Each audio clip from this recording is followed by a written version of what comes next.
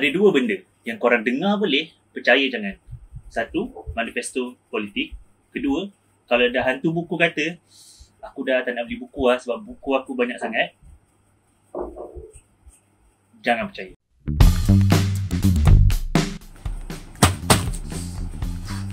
Ini semua buku yang aku beli daripada sepanjang bulan Disember sampailah ke hari ini dan memang aku sengaja kumpul untuk kita buat video nyah buku ataupun unboxing.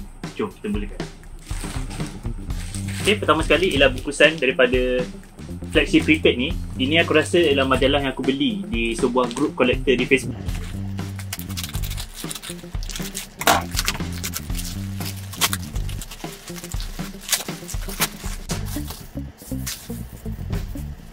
Jadi dia simpan buku ni dalam bubble wrap dan juga dibalut dengan kotak. Tengok si dalam dia ada apa. Jadi ini buku pertama yang aku beli daripada group collector di Facebook, Vasilia Si Jelita. Iaitu kumpulan cerita rakyat Rusia. Dan aku beli ni dengan harga RM8 rasanya dan ini adalah terjemahan daripada Nazil Hashim Muhammad, salah seorang penulis yang terkemuka dan penulis hebat di Malaysia. Dan beliau juga banyak uh, menterjemahkan karya-karya luar kepada bahasa Melayu. Seterusnya adalah bukusan daripada Tan Kok Hui.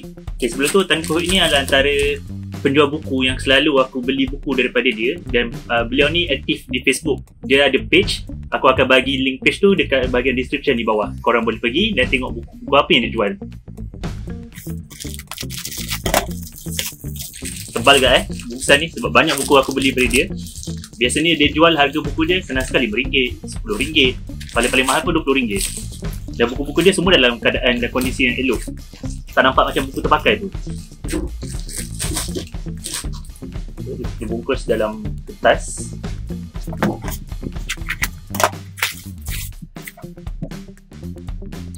Okay. Inilah harga nilai buku yang aku dah beli dah tulis nama. Sebab memang aku jenis selalu aku akan book dulu buku yang dia jual dekat Facebook. Kemudian aku akan kumpulkan. Jadi banyak-banyak supaya senang untuk dia hantar sekali dalam satu post. Jadi post-post tak ada lama sangat kan kena bayar banyak kali. Jadi dalam ni dia tulis RM48. Dan ini adalah buku-buku yang aku beli. Ada tiga naskah buku yang aku beli daripada dia yang pertama ialah Koushun Takayami novel Battle Royale. Kalau korang nak tahu game PUBG yang korang main tu diinspirasikan daripada konsep Battle Royale mana Battle Royale ni adalah tentang sebuah sekolah yang melibatkan uh, sekumpulan remaja di mana mereka dibawa ke sebuah pulau asing untuk mereka berlawan dan berbunuhan sesama sendiri sampailah kita dapat The Last Man Standing seorang pemenang dalam Battle Royale ini. Itu juga konsep digunakan dalam PUBG adalah buku Nine Parts of the Desire The Hidden World of Islamic Woman Buku ni adalah sebuah buku bukan fiction yang ditulis oleh Geraldine Brooks yang menceritakan tentang uh, tokoh-tokoh wanita yang terkemuka di dalam dunia Islam.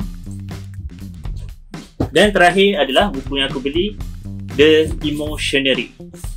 Gabungan daripada perkataan emotion dengan dictionary. Uh, sebuah perkataan-perkataan yang tak wujud untuk menerangkan tentang perasaan-perasaan manusia. Jadi ini adalah uh, rujukan untuk bagaimana kita menjelaskan sebenarnya apa yang kita rasa. Korang boleh tengok dalam ni dia ada perkataan penerangan dia dan kemudian dia ada ilustrasi untuk uh, menceritakan tentang apa maksud perkataan itu sebenarnya.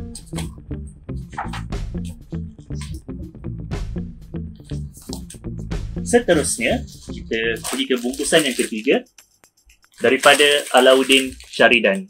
Ini pun aku beli daripada grup kolektor buku se-Malaysia di Facebook. Dekat sana memang terkumpul semua penjual-penjual buku serata Malaysia di mana mereka akan menjual buku-buku yang baru atau buku yang terpakai. Biasanya buku terpakai. Uh, dan memang harga yang dijual pun uh, ikut jenis-jenis kelangkaan buku tersebut. Kalau buku tu tak rare sangat, maka harganya pun mampu milik lah. Tapi kalau buku tu buku yang langka, buku yang rare, buku yang memang dah tak ada cetakan lagi, biasanya dia akan jual dengan harga yang agak keras. Jadi kolektor sukalah sebab mereka memang kumpul buku-buku langka dan buku-buku lama ni sebagai satu koleksi untuk disimpan di rumah ataupun untuk dibaca. Tapi kalau macam aku, ikutlah kalau buku tu buku yang aku suka, aku akan beli. Kalau itu bukan buku yang uh, aku minat, aku akan biarlah bagi uh, pembeli lain yang beli buku tu. Jadi kita tengok buku apa yang aku beli daripada grup kolektor Malaysia ni.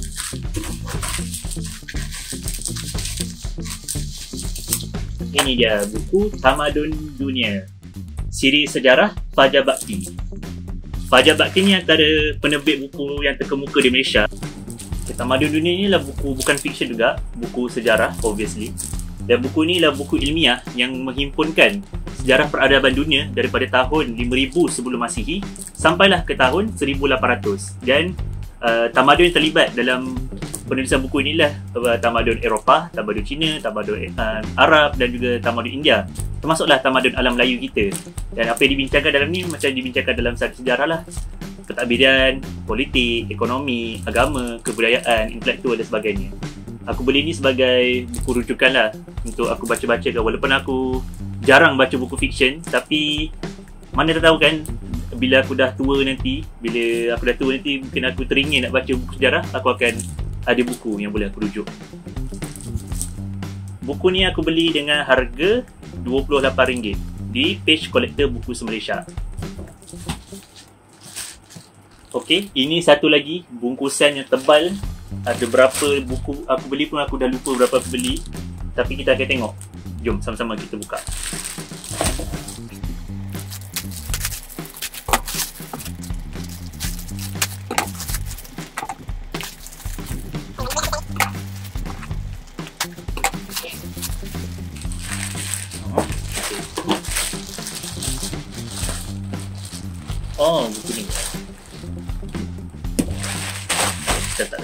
tulisan dia. Ini adalah siri The Land of Stories. Aku pernah tweet pasal yang aku dapat beli buku siri Land of Stories ni dekat Twitter. Land of Stories ni adalah sebuah koleksi cerita tentang uh, cerita-cerita fantasi dan juga cerita-cerita kanak, cerita-cerita dongeng daripada barat di mana mereka tulis semula dalam naratif yang baru. Dan Chris Colfer ni memang antara penulis fantasi kegemaran aku sebab cerita dia menarik.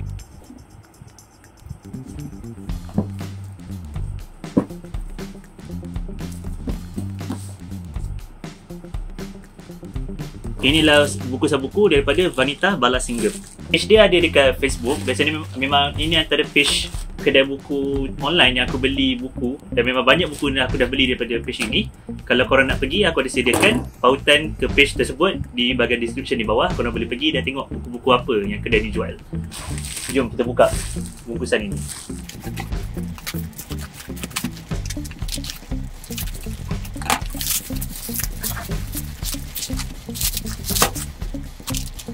ada tiga naskah buku yang aku beli daripada kedai ni. Yang pertama ialah karya Stephen King. Ini adalah uh, sebuah koleksi antologi cerita-cerita pendek seram daripada Stephen King. Raja seram kita. Seterusnya ialah uh, The Tale of Disparok daripada Kate DiCamillo. Okay, aku ni tak tahu macam mana nak sebut Disparoks. Tapi kita hentam je lah. Ini dia. Dan seterusnya ialah sebuah graphic novel The Kite Runner daripada Khalid Usaini. Aku dah pernah baca novel dia dan bila aku ternampak komik dia ni aku memang terus book aku terus rasa nak beli sebab kita nak tengok pula macam mana naratif The Kite Runner ini dalam bentuk komik. Aku tunjuk korang beberapa buku surat dalam komik ini. Cantik kan? Lukisan dia. Okay, ada lagi satu bungkusan Ni pun tebal juga. Aku pun dah lupa buku apa yang aku beli. Jom kita sama-sama tengok Apa isi kandungan bungkusan ni.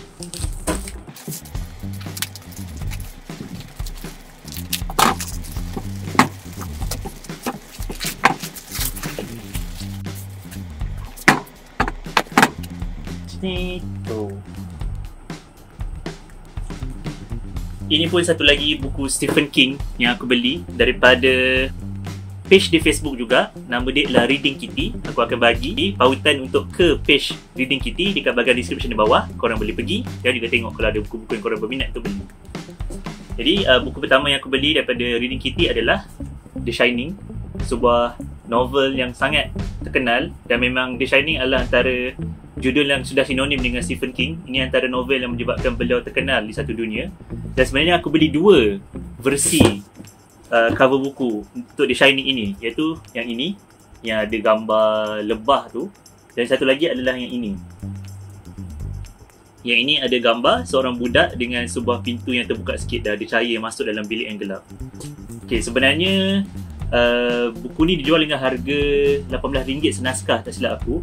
Tapi uh, penjual tu kata why not kalau tak ambil kenapa tidak kalau ambil satu bundle terus kan lagi murah. Jadi dijual kat aku untuk tiga buku ni rasanya RM uh, dijual kat aku tiga buku ni dengan harga RM50 termasuklah post postage. Jadi daripada kita beli harga RM18 rugi kan, baik kita ambil terus. Dapat juga untung dengan beli tiga buku dengan harga yang murah. Dan buku ketiga yang aku beli adalah The Green Mile. Karya Stephen King juga. Jadi aku tak tahu kenapa uh, sejak 2 minit ni memang banyak gila buku Stephen King yang aku beli. Dan mungkin rezeki aku lah kot sebab memang aku tergerak hati untuk baca karya Stephen King selepas dikongsi oleh seorang kawan di Twitter. Jadi bila bila aku tergerak hati tu tiba-tiba banyak pula uh, penjual-penjual yang nak let go buku-buku terpakai dorang kan. Buku-buku Stephen King terpakai. Jadi aku pun beli lah kan. Why not? Rezeki lah orang kata Okay, buku seterusnya adalah daripada PTS. Okey, yang buku sanik ni pula aku tak beli. Tapi PTS uh, PTS 1 yang bagi dekat aku bagi dekat aku dua nas, dua novel untuk aku buat ulasan buku di YouTube channel aku. Jadi korang boleh nantikan video ulasan dua novel yang dihadiahkan oleh PTS Book ni sama-sama kita tonton. Ini adalah dua buku yang aku dapat daripada PTS 1. Yang pertama ialah Puaka Perpustakaan daripada siri cerita hantu yang diterbitkan oleh penerbit X iaitu sebuah imprint di bawah PTS 1 Seterusnya adalah buku Miss Awesome yang ditulis oleh Osman Din. Osman Din adalah salah seorang daripada kawan Twitter aku. Dan waktu dia promosikan buku ini memang aku teruja untuk beli tapi mungkin sebab rezeki aku lah kot. Orang tawarkan untuk beri Miss Awesome ini dengan percuma saja kepada aku. Dan buku Miss Awesome adalah tentang laga pantun iaitu di mana akan ada pemantun yang akan berlawan pantun sama mereka untuk kita tengok pantun siapa yang lebih hebat. A, aku akan baca buku ini dan sama-sama kita nantikan juga video ulasan dia. Adalah daripada penerbitan Caterpillar Books. Bungkusan ini adalah sebenarnya bungkusan hadiah daripada Caterpillar sebab hari tu orang ada buat sesi temu ramah bersama penulis uh, untuk sebuah kumpulan cerpen terbaru mereka Mana Dadu Darjeeling daripada Wonder Azri. Jadi waktu orang buat sesi live dekat Facebook tu aku ada tengok dan juga mereka ada buat satu sesi um, macam pertandingan lah untuk jawab soalan dan aku jawab soalan dan betul. Jadi mereka hantarlah bungkusan ni sebagai hadiah kepada aku. Dan buku yang aku dapat adalah buku Budaya dan Rakyat, kumpulan artikel daripada Sastrawan Negara Anwar Ridwan. Dan seterusnya adalah Zin, Tukang Puisi, isu kelima, Warna Merah Ungu.